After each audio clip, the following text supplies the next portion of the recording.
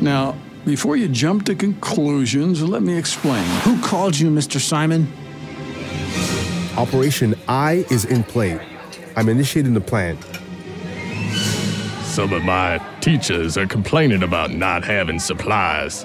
That's fine. I'll send enough to keep them quiet.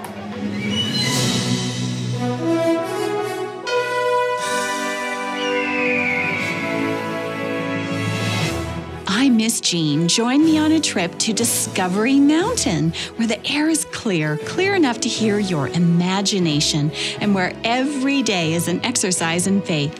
Join me for today's expedition in Discovery Mountain.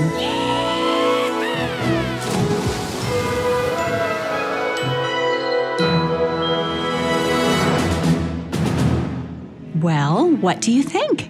Did Mr. Simon answer Isabel's call yesterday? We'll find out in today's episode, which is a special one. Mr. Garcia is exercising his faith, and so are Isabel, Mr. Simon, Yumi, Olivia, oh, and Jake, too. Listen carefully to the faith exercises and the verse that Mr. Simon shares. These are wonderful ways to exercise your faith wherever and whoever you are. Now, did you hear that? It sounds like court is in session in Discovery Mountain. Let's join them in today's episode called Whoever. If there are no further questions, defendant, you may leave the witness stand and join your counsel. Oh, thank you, Judge Barber. Court dismissed for a 10 minute recess. Counsel, I'll hear your closing arguments then. Judge Barber, may I approach the bench? We're in recess, bailiff. Didn't you hear the gavel? Ah, this is more of a personal question. Look, I told you Finnegan. It's not about Finnegan or the painting. Oh? Well, good. I'm sick of that conversation. Listen, Barber, off the record. The defendant, he sounds genuinely sorry for what he's done. Yes, but the evidence shows that he did it. Oh, I, I agree. But he said he's a changed man, and I believe him. I've heard that plea a thousand times. Uh, me too. But I think that this guy is for real. I mean, look at him. He's. Oh dear. He's praying with his attorney. Now, if that's for show, it won't work on me. Come on. We've seen those fake prayers before. Look, this looks different. This is a truly repentant man. And you think. Hmm.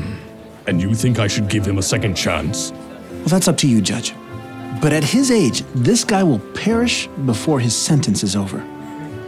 Well, you know what I always say you do the crime, you do the time. Barber, you know that I'm a Christian. Yes, I'm aware. Now, I've seen you rule with mercy. What are you accusing me of? Nothing. Just as a Christian, I can't ever forget that God is merciful. John 3:16 says that for God so loved the world, he gave his only begotten son that whoever believes in him should not perish but have everlasting life. Yes, I've heard it all before, but this guy. Whoever. That's what the verse says. Whoever believes in God has a second chance at life. Well, I'm not God. Oh, don't worry, I'm not arguing that. But we all deserve a second chance when we're truly sorry. Don't we? Well, bailiff, you have a lot of thoughts this morning. I have a lot of thoughts most mornings. I just usually keep them to myself. I see. Well, let's get on with things, shall we? Court is now back in session. The Honorable Judge Barber presides.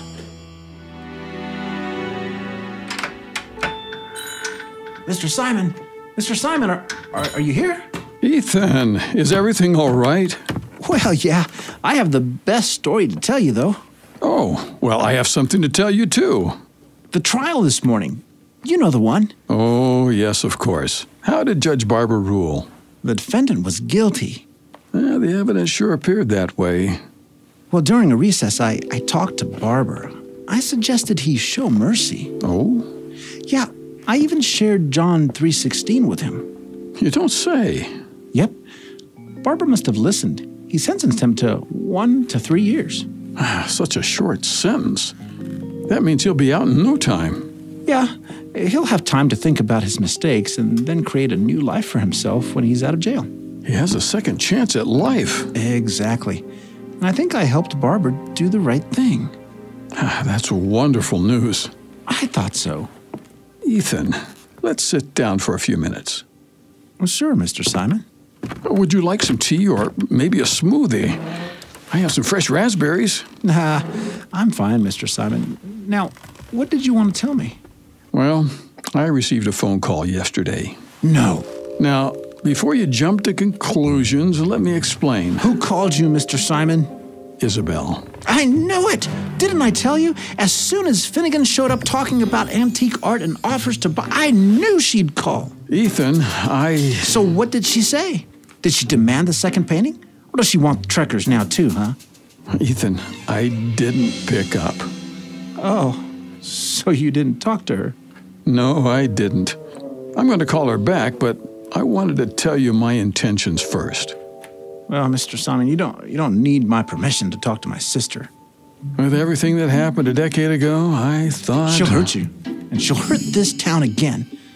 I can't tell you what to do, but not everyone deserves a second chance. I respect your feelings, Ethan. I am going to call her, though. I thought you should know. You can be here if you like. no, I don't think so. I need to get back to the courthouse, Mr. Simon. I'll let you know. Don't bother, really.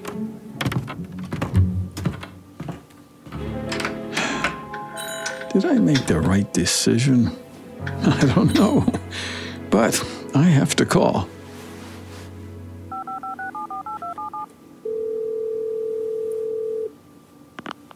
Hello? Isabel, is everything all right? Mr. Simon? It's. It's been so long since I've heard your voice. Isabel, where are you? I. I'm at my school. Can you text me the coordinates of the closest airport? Coordinates? I, uh. Yeah. I could look them up. Good. I'll be there this afternoon. I'll see you soon, Izzy. Mr. Simon is going to see Isabel. He has a lot to get ready before he can leave. Let's follow him. Hi, Uncle George. Are you here for lunch? Hattie, no, I have to take a trip unexpectedly. Is there any way you could watch Trekkers for me for a few days? Is everything okay? Oh, I'm fine. It's Isabel. She called. Oh, I see. Well, I'm off here in an hour, and I'm not scheduled again until, let's see, Thursday. Perfect. That'll work. Thank you, Hattie. Glad I could help. Oh, Uncle George, wait. Yes? Here, some food for your trip. Thank you, Hattie. Oh, don't mention it. Mr. Simon was in a hurry. Oh, yes, an unexpected trip. Unexpected. Oh no, did he say where he was going? I'm not sure that I should say. Isabel. I, um. It's all right. We have a plan for this. Deputy Bo, Deputy Bo, pick up. Over. Deputy Bo here. Over. Operation I is in play. I'm initiating the plan. Over. Operation I. Oh, Isabel. Over. Yes, Deputy. You're in charge of the station until further notice. Copy? I copy. Over. Good. Over and out. Mr. Simon rushed home and packed an overnight bag, but he was missing something. He ran to the school. Mr. Simon, can I help you find someone? Oh, thanks, Reader. I just need to see Jake. Is he in his classroom? Well, he should be. Thanks. You're in a hurry. Is there an emergency? Jake has the keys to Bluebirdie, and I need them. An unexpected trip? Yes, yes, something's come up. I'll just find Jake. Yes, of course. It might be nothing, but I'd better call Lewis.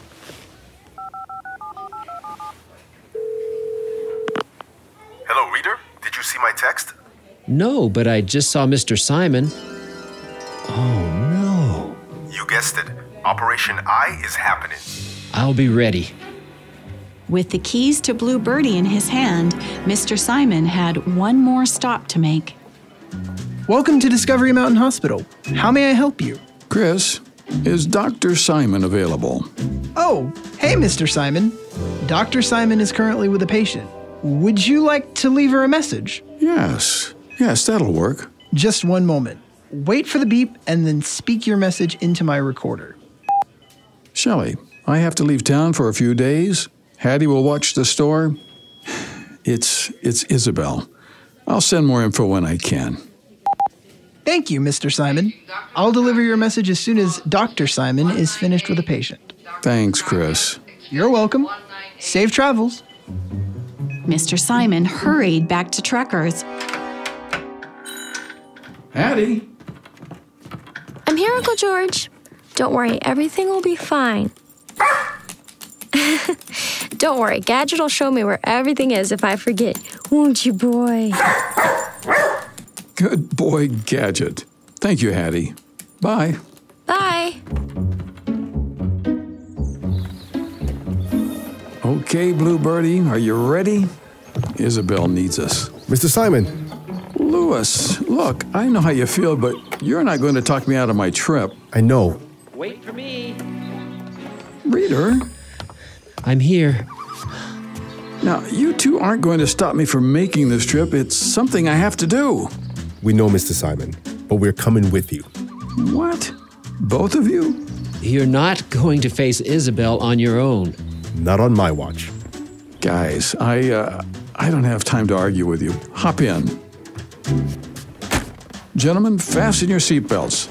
Let's hope for clear skies ahead.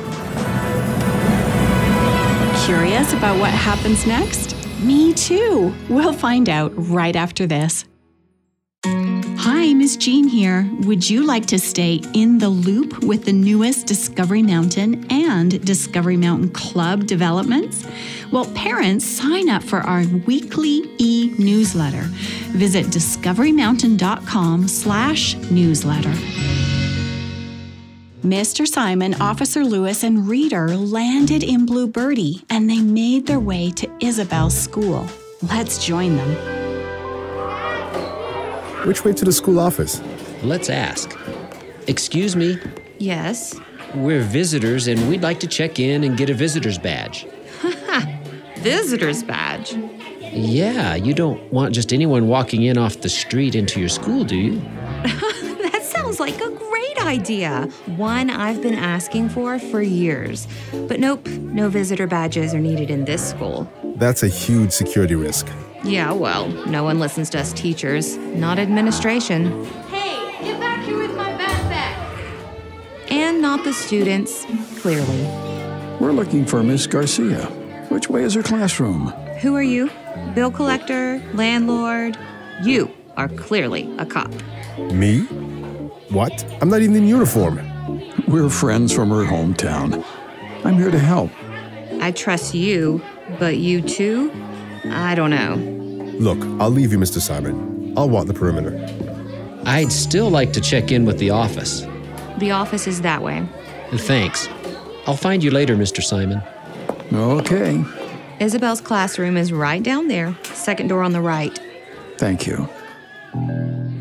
As Mr. Simon approached her classroom, Isabel practiced what she would say to him. Oh, I'm so nervous. I uh, was wondering if you'd be interested in me helping you with some contract work. No, that's not quite right. How would you like to increase your social media presence? Isabel? Um, Miss, Mr. Simon? Is that really you? Isabel, I'm so glad to see you. Uh, Mr. Simon, I was wondering if you'd, uh, if you'd be interested? Izzy, can I still call you that? Uh, uh, uh-huh, Can I give you a hug? uh, uh-huh.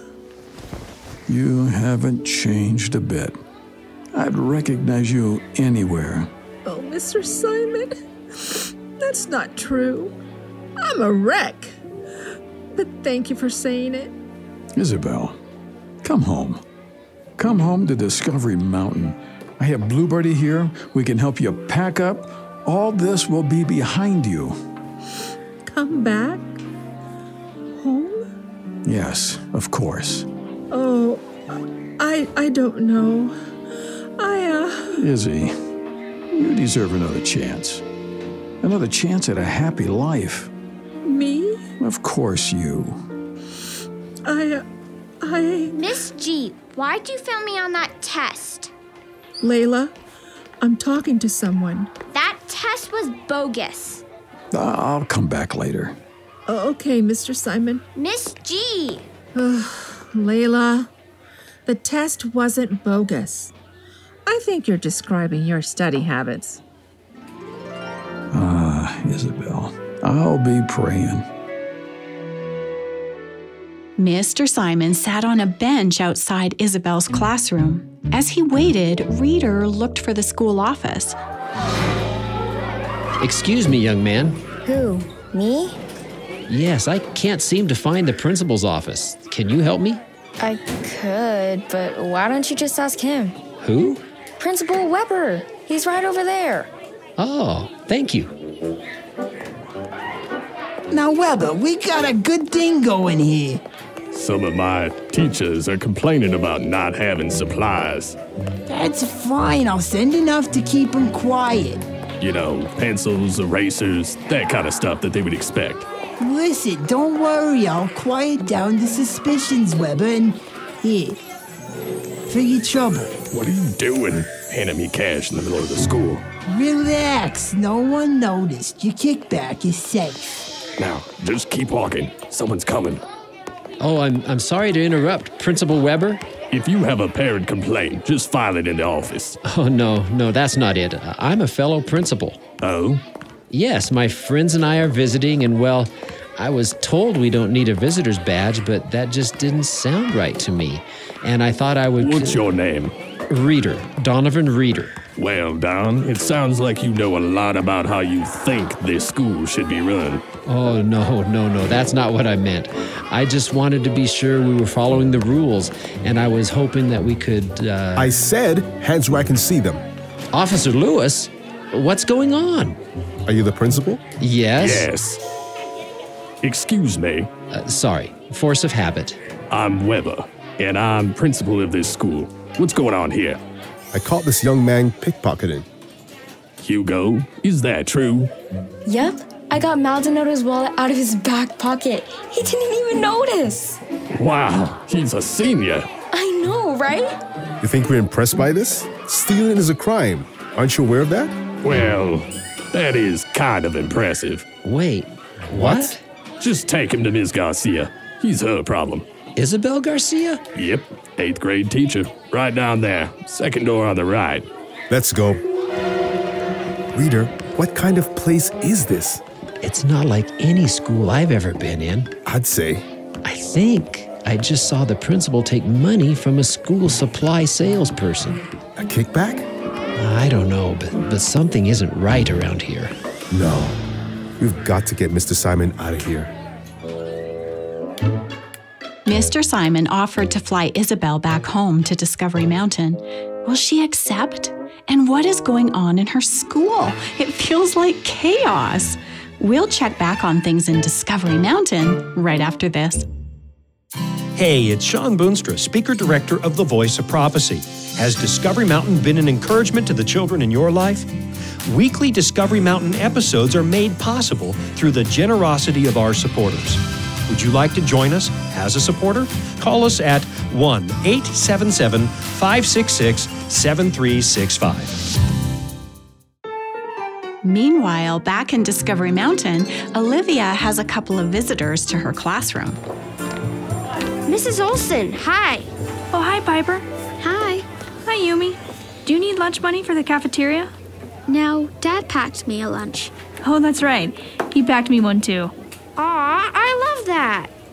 We're gonna go see Chaplain Jake. Yeah, but first I said we should visit you. Yumi said she hadn't seen your classroom yet. Oh, I see. Well, thank you for visiting. This is my classroom. Hey, Mrs. Olson, can I go to lunch now? Have you finished your test, Logan? Yes, finally. Good job. You worked hard. I'm sure you'll do well on this test. Thanks, Mrs. Olson. I sure hope so. Logan, this is Yumi. Right. Thank you, Piper, for making introductions. Hey, Yumi. So your mom was a teacher. That must be pretty cool. She's not my mom. Oh, uh, sorry. I, uh. Well, I'd better get in line at the caf before the food's all gone. Sure. Run along, Logan. I'd better eat my lunch too, I guess. Hey, Mrs. Olson. Can I borrow that book you told me about? I want to start reading it over lunch. Janet! Yes, of course. Let's see. It's here somewhere. Yumi, that wasn't very nice what you said about Mrs. Olson. I know. It it just slipped out. Here you go, Janet. Hey, that looks like an art book. Yeah, it's about painting. Cool. I love to draw, and I want to learn how to paint. That's how I started too. Have you tried brush pens? No, not yet. Here, let's see. Um, I have a bunch in my backpack. Try them. There are all kinds of tutorials on YouTube. Awesome. Thanks, Janet. Oh, uh, by the way, Janet, this is my, uh, uh, this is Yumi. Oh, hi, Yumi. Nice to meet you. Nice to meet you, too.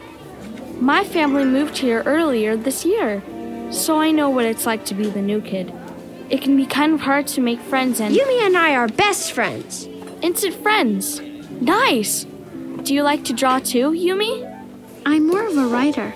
Yumi's really good at writing. We're making a book together.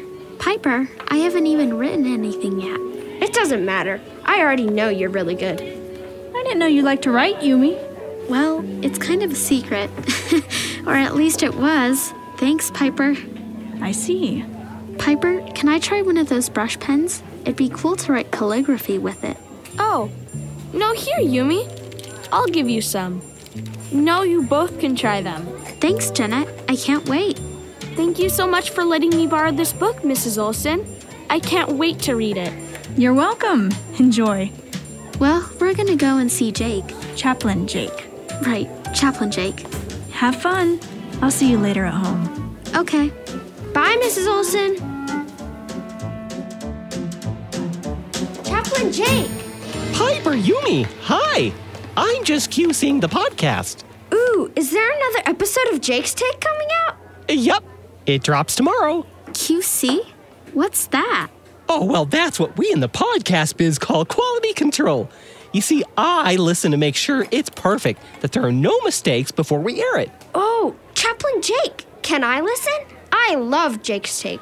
Well, okay, Piper. Here, put on these audiophile headphones. They're just the best.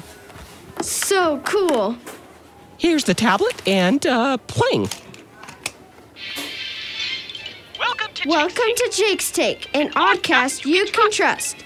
Yumi, I'm QCing Jake's Take. Yes, Piper, we can hear you. What? uh, Jake, Piper is the best, best friend. God really was watching out for you when he brought you here, huh? I just don't deserve it. What do you mean, Yumi? I'm a terrible person. Wait, what? No way! Yeah, I am. Uh, uh, I shouldn't tell you. Yumi, you're new in town, you got a new school, and a new family. Oh, Jake, just now Logan said Olivia was my mom, and I was so rude. You were? Yeah, I said, she's not my mom. I just blurted it out like that. Oh, Yumi, I. Olivia must hate me. Of course not. My sister thinks you're awesome, Yumi. I'm always saying and doing terrible things, sort of like that younger son in the Bible story. The prodigal son? Yeah, he was so mean to his dad. I couldn't believe my ears. Yumi, we haven't finished that story yet. There's a lot more. Oh, don't waste your time telling me Bible stories. It's no use. I'm a terrible, terrible person. Yumi, you stop right there, right now. But No, stop. Just stop. Did you ever learn John 3:16? yeah, that verse is famous. I memorized it. Oh, you memorized it, huh? Good. Let's hear it. For God so loved the world that he gave his only begotten Son, that whoever believes in him should not perish but have everlasting life. Whoever. Did you hear that word? Yeah, Yumi, whoever believes in Jesus can have everlasting life. I'm a whoever. Oh, you sure are. And I believe in Jesus. And that means you can have a second chance. With Olivia? Yeah, with her and everything. Wow. Jake? Yeah? Would you pray with me? Of course. Dear Jesus, thank you for sending Yumi right here to Discovery Mountain. We're so glad that she's come. As Jake prayed, Yumi talked to God. She felt her heart soften and she accepted Jesus' love. She believed that she could have a second chance. Meanwhile, Isabel still hadn't answered Mr. Simon on his offer of a second chance. And someone else made a phone call, an important phone call, as we'll soon discover. Let's listen. Hello? Hello, is this the school superintendent's office? Yes, this is the superintendent, Mrs. Gomez speaking. Oh, Mrs. Gomez, what an honor to speak to you. Thank you. How may I help you today, Mr. Reader, Donovan Reader. Ma'am, I saw something that just didn't look right at one of your schools today. Principal Weber took cash from a school supply vendor. Cash? You witnessed this firsthand? Well, yes. Uh, all right, I'm listening. Director Doug, Reader might be able to help the situation at Isabel's school. I hope so. Her school seems to need a lot of help. And Isabel hasn't answered Mr. Simon yet. He's offered her a second chance, a chance to go home. Well, I hope she accepts it. Yumi just accepted an important second chance. She really did. The promise of John 3:16 really is available to whoever. Yes, whoever believes in him, Jesus, should not perish but have everlasting life. I've accepted Jesus. So have you, Miss Jean? I have. You know, accepting Jesus has made all the difference in my life. Director Doug, there might be someone listening who has never heard this verse before. Mm, that's true. To you listening, this promise is for you too. You can have a new life in Jesus. Mm-hmm. And no matter how far away from God you feel, you are a whoever. That means that this promise is for you. If you'd like to learn more about Jesus and to accept him into your heart, but you don't know where to start, well, write to us. Yeah, and we'll direct you to resources that can help you exercise your faith. Absolutely.